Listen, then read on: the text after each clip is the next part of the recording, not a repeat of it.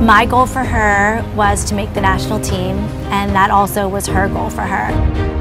We knew the talent that she had, and we knew the job that she could do, but at the same time, she was so new into the national camp scene. It's good to have some reassurance that I can do it. I think it finally started to sink in what a huge deal it was and what a great accomplishment, you know, she had accomplished. I'm not so far off. Like, I'm right there too. I want to make my own legacy.